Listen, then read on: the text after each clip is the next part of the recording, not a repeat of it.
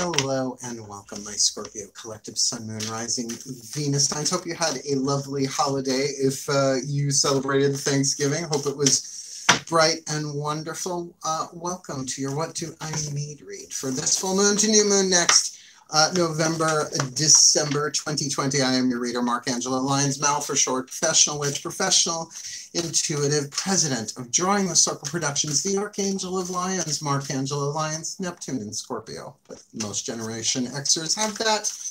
Uh, but you can call me Mal. Hi, hi, hi, hi. Having just spent my Thanksgiving with the Scorpio, I feel very, very happy and peppy and bursting with love about all of y'all. Some of my dearest friends are Scorpios, so very, very um, glad to be serving you today. A little kitten sneeze in the background there. Well, he's not a kitten. He's a bowling ball with black hair, but I love him. Mine. Which one is you? This is Belzy. Oh, my boys. So uh, let's get into this, shall we? What do I need read? We're doing here a seven card draw, seven different decks, one card each, three healing systems, two oracles, two tarot decks, clues, tips, and hints about what you need uh, for this full moon in Gemini on the 30th, last day of November, on Monday, to the new moon on Monday. Uh, Nick Rhodes, perk up, get ready, light your torch and wave it for that new moon on Monday on the 14th, uh, which is at 11:17 a.m. It goes void, of course, the exact same time. That's Eastern Standard Time. I'm in New York, so uh, if you want to do uh, more new moonish magic, because there won't be any in uh, in Sagittarius, you're looking at the new moon in Libra, 10:35 p. Um, oh, sorry, in Capricorn. That will be in Capricorn, right? From Sagittarius to Capricorn. Cool. So um, it's a general read. Take what resonates, leave what doesn't. My subscribers, I love you. Thank you so much for your subscribes and your likes and your comments and sharing my stuff. And if you are new, boy, it's glitchy today. the Libra read was just like this. Oh, we'll get through it. Uh, so if you are new to my channel and you like what you're getting here, please do hit the like button. The more people who like the video, the more people see it. That's just how it works. And if you want more from me, please do subscribe. I'm shooting for that membership thing at 30,000 subscribers so we can do private content, right? Member content, I should call it, right? Live streams and um, other aspects of divination that I wouldn't ordinarily do on YouTube. Hmm proper, I guess I should say. So cool. Uh, general read, take what resonates, leave what doesn't. Focus on your breath. Be here now. Take what resonates, leave what doesn't. Intuitively, I'm talking to a Scorpio. You know exactly what I mean. So let's do that. Uh, I'm ready to do this. All the decks that I read are in the description box all the way at the bottom. There's some cool links on the way down. Let's do this. Breathe. hurry up and, and read, Scorpio. Hurry up and let me read you my collective pantheons of angels, goddesses, gods, ascended masters, and the higher selves of all involved, please. What is the dominant archetype that you can show us through the Caroline Myss archetype deck that the Scorpio collective Sun, Moon, Rising, Venus signs need to deal with, need to alchemize, need to shift from lead to gold this full moon in Gemini to new moon next in Sagittarius, please, that dominant archetype within themselves, within someone else, within a situation, all of that, none of that, the storyteller archetype. Now, I have the storyteller archetype, but not as dominant as my dad did. Oh my goodness gracious. Particularly in the shadow aspect, that which needs to be alchemized, right? Lead has three more atoms than gold. So, waning moon, right? Full to new. How are you going to burn off those three extra atoms, turning lead, an insulator, into gold, a conductor? The shadow attribute, making up tales that harm others. And my dad could just spin a fucking yarn, and it was different depending on who he told it to.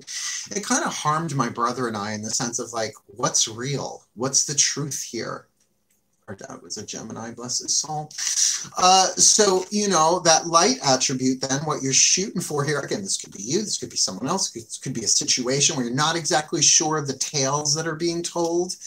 Uh, the light attribute, ability to experience and express life through stories and symbols. And that's what I mean. Like I, as a tarot reader, can read the cards. I can find the story in it. I can find a narrative, right?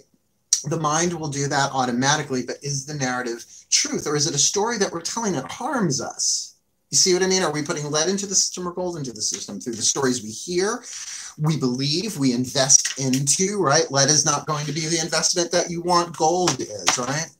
So, healing with the Angels Oracle, Doreen Virtue's deck. What's the healing angel that the Scorpios need to call upon, right? To work with, to invoke, to partner with, however you want to look at that. This full moon to new moon next. Let's find out. Breathe. my angels of water and the sign of Scorpio, my Gabrielites, please one card in clarity for the Scorpio collective Sun, Moon, Rising, Venus sign. Uh, this full moon in Gemini, the new moon next in Sagittarius. What is the healing angel they most need to call upon to help them alchemize the storyteller archetype from lead to gold, pain to peace, shadow to light, fear to love? Uh, whoa, hey, hey, hey, hey. Oh, if it was just one, I might have taken because it was divine guidance. We'll see if it comes around. What is the healing angel they most need to work with? this uh, full moon to new moon next November 2020. Regardless, power, power. Why do you do it? Power, right?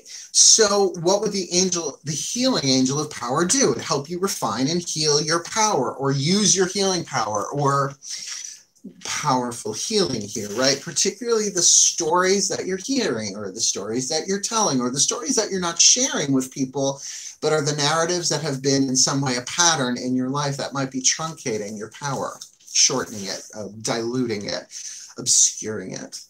I was raised by a teacher. I have very good vocabulary. Oh, that Mal, he gives good vocab. Breathe. Daughters of the Moon Tarot, my goddesses of water and the sign of the Scorpio. Yeah, there's a touch of Hecate in there. I can feel it. Please, what is uh, what is it that they need to be aware of inside of themselves? The yin, the world behind their eyes, their heart, their throat, their third eye, their crown. This full moon in Gemini to new moon next in Sagittarius, considering we've got the storyteller being alchemized on the table here. We've got the angel of power that they need to call in to do that. What is it that they need to be aware of inside of themselves? Is that one card or two? That's one card. I will take that uh, for this uh, full moon to new moon. Next, appraisal. The eight, uh, uh, sorry, the seven of pentacles. Now, in this deck, it really is somebody ascertaining did the seeds that I plant yield that which I wanted. Now, that can be tricky. It is earth, right? So sometimes it does come down to literally assigning value, like having an appraisal of a home or a piece of jewelry or a car, right? You know, is it worth at least blue book value? this seems to be a bit more looking back over your past at the stories that have been told, and you might very well be appraising what is true and what isn't, what is empowering or disempowering you. Let's keep going. Excuse me, hair, mythic tarot, right? The yang force. We just looked at the yin force, right? That that goddess seven of pentacles energy appraisal there on the inner. What's going on on the outer? You could say lower three chakras, right? Root, sacrum, solar plexus. Breathe. Yeah, my gods, the yang force, the divine masculine. Uh, for of of water of Scorpio, Poseidon and Hades in particular, please. One card in clarity for the Scorpio collective sun, moon, rising, Venus sun. What is it that they need to be aware of outside of themselves? Lower three chakras, right? In the physical, literal world, this full moon in Gemini to new moon next in Sagittarius, November, December 2020. Considering we've got the storyteller, the healing angel of power, the goddesses seven of pentacles appraisal they need to be aware of their own perhaps power to appraise things within themselves perhaps more intuitively than intellectually like more visceral physical in the body how it feels. What is it they need to be aware of on the outside here? My gods. Eight of swords you're in a mental trap. Someone's in a mental trap. You know eight of swords that's the thing it's never as bad as you think it is with the eight of swords. It's all the mind it's all the narrative. It's all the narrative. What is the narrative here? Now look I'm a teacher. I'm a spiritual teacher. My mother's a teacher, right? So if you were my student, if you were my student or it's through spiritual direction, through spiritual counseling, I would say to you, take a week and write down the stories that come through your head about this particular subject or any particular subject related, right? So if this is about a relationship, just what are the stories that you have carried with you? Maybe stories that were told to you as a child about how the family is, like for instance, divorce runs in the family divorce does kind of run in my family actually uh, but that you know better than being in a toxic relationship with no exit right so th- it's all that push and pull but what's the story no matter what happens you have the ability to empower yourself with the retelling of the story right? Rewriting the story. Because this is such a painful energy where you feel so trapped. It is anxiety ridden. And look at just the stories, the false narratives that we've dealt with on planet Earth this past year, let alone all of humanity, right? let alone the entire timeline, right? It ain't all truth, right? And, and so what happens in our minds? Well, okay, they're giving me this. The, the ego is always at war. It worries, it anticipates, and it regrets. Matt Kahn brilliant author, brilliant teacher. The soul, however, is raw. It respects, it acknowledges, and it welcomes. So this is definitely that thing of, what if I do this, I do that, but if I do that, I'm to, and if, danger, danger, danger, Will Robinson, right? While deeper appraisal of what's actually going on inside of you is more empowering for you, and why wouldn't it be? Why wouldn't it be, right? You're a water sign. You can sense in your body something very different, particularly lower three chakras. That, that this is probably more solar plexus. So if if you are getting um a lot of knots in in your solar plexus in your gut, then that's probably your own storytelling stuff going on, or you have believed a story that isn't true and you know it's not true, or at least it's disempowering. Hair. Oh, I washed my face and everything. Chuck Spezzano Love Pack. What is the piece of healing, the piece of grace, the piece of luck, or the piece of the problem you need to be aware of? Breathe.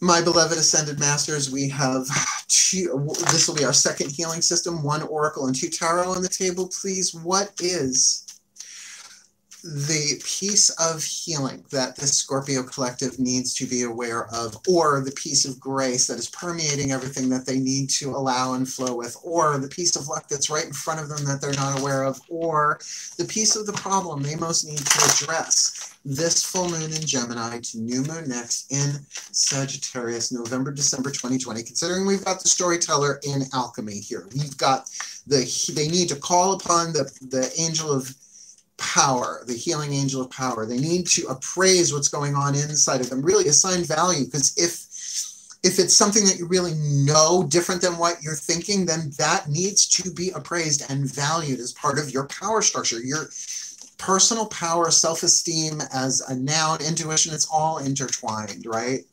I would say both sides of the same coin, but those are three things. So what is it, my ascended masters, that they most need this full moon to new moon next? Damn it, the problem of rules. This is about the stories we tell ourselves, the rules, right? The rules and regulations to abide and obey. It is a problem card, right? So here's this simple line that both of these people could beat on one side of it, but they can't because all the rules. Now, look, we're not talking about healthy boundaries here. No, we are talking about the man made, thought based rules, usually to protect ourselves from experiencing the very things our, our soul needs to uh, explore and feel. Like, well, I can't because, and, and come on, these two cards are totally linked. How could they not be, right? That line between them is the line this character is standing in, right? Between the Furies and Apollo. The rules, right? Because, oh my God, the, the, the mythology of it, right? This is something that you really have to not just think through, feel through, and feel through viscerally because it might be you're the only one obeying these rules. Do you know what I mean? It, it, that perhaps you you're ready to evolve past them, or perhaps you already have, and and this is just something. Well, but I'm not that person anymore. So how do I comply? There's an interesting word, and not one that I usually associate with Virgos. Comply. Oh, they may seem complicit on the outside, but on the inside, there's a whole other alchemy going on, occluded, hidden, right? Eighth house Oof, let's keep going. Uh, Whispers of Love Oracle. Now, there's not a sucker in this deck. There's no womp womps in this deck like there is in the Whispers of Love pack. Uh, the Whispers of Love Oracle, the voices of the higher selves, uh, fifth dimensional and above. Take a nice deep breath. Mm-hmm. The higher selves of all involved, please, one card in clarity. For the Scorpio collective, Sun, Moon, Rising, Venus signs this full moon in Gemini, which is very thought-based, to the new moon next in Sagittarius, very desire based, very expansive. So please, what is the piece of inspiration, inspiration, inspiration, information, or insight that the Scorpio collective needs for this uh, full moon to new moon next November and December with the storyteller archetype. They need to alchemize the healing angel of power they need to call upon. The Seven of Pentacles uh, appraisal that they need to do with inside of themselves. That Eight of Swords that they need to address and look at as the mental trap that they find themselves in, or maybe somebody else that's part of the story. Maybe they are trapped with them, with the rules, to be aware that the rules that are the problem here and maybe need to be re rewritten. So, what is the information, inspiration, or insight they need? Actions. Speak loudly. Express your love through your actions. And I feel like you want to, but there are social rules in play here or rules from your childhood, right, your parenthood, based on stories that you were told that maybe didn't happen to you directly. This may very well come through the tribal toxicity of the well meaning people in your tribe, your family, your friends, your society that are like, well, you know, you shouldn't do that because what if you act on love and they reject you? Yeah, but there's something inside of me that feels a certain way about this that kind of is the opposite of what I'm dealing with in the outside world because I'm hemmed in by these rules and it's all just mental. It's all, I wouldn't even go so far as to call it pure psychology. I'm just going to call it belief system based, right? Uh, the prisons we put ourselves in mentally that of course affect us emotionally and that's why perhaps when you are like do this right like like I said, write down the stories. But as you are thinking these thoughts of being being trapped, tune into your body and really ask yourselves, "Am I really trapped?" And you're gonna get, "No, I'm not." No, I'm not. I could walk away from this. I could speak my truth. I could take action, and everything would what change. Now, eighth house, Scorpio, ruled by Pluto is transformation. Change and transformation are not exactly the same thing. The weather changes, it doesn't really transform. You take dough and you bake it and you make it bread, you, there's no going back, right? That's a transformation, the element of fire. So interesting, interesting here. And we've got one card left. And this should really put the cherry on this Sunday. The Healing Mantra deck by Matt Kahn. So good so helpful to me. You have no idea. Once you habituate them and the subconscious mind really absorbs them, they come up during interesting times, like like in breath work and meditation for me, like out of nowhere, like just a mantra will just float through my head from this deck. It's really good. Hay House, Matt Kahn, check it out. Breathe me giving a Scorpio orders. when does that ever work? Please, my ascended masters, who gave us this card of the rules, which makes a lot of sense here with that Eight of Swords, obviously. Please. What is the perfect healing mantra from my Scorpio brothers and sisters? The Scorpio Sun, Moon, Rising, Venus signs from this full moon in Gemini to new moon next in Sagittarius, November, December, 2020 with the storyteller that needs to be alchemized, the angel of power that needs to be called upon, the seven of pentacles appraisal that the goddesses that you need to address that appraisal, that eight of swords, that mental prison on the outside that you need to be aware of, the rules that you need to be aware of as part of the problem, if not wholly the problem and the insight that actions speak loudly. Express your love through your actions. My ascended masters, what is their perfect healing mantra? This full moon to new moon next November, December 2020. Exploring unity consciousness. Wow. I am one eternal light appearing as all. Now, this is a little esoteric for something that seems to be uh, so very much about normal life, right? The rules we have to abide by and how do we take action? And what are the stories we're telling? And how do we empower ourselves? Well this is really an eighth uh sorry uh, well an eighth chakra thing. This is this is unity consciousness. This is um this is seeing things radically differently and really changing your story. Uh, i am one eternal light appearing as all. Sorry. I'm one eternal light appearing as all, uh, when unity consciousness is explored, you are able to sense a connection that unites all hearts, no matter how unique each person seems to be. Almost like these rules are rules of division. Oh my God, racial rules, religious rules, right? Tribal dictate.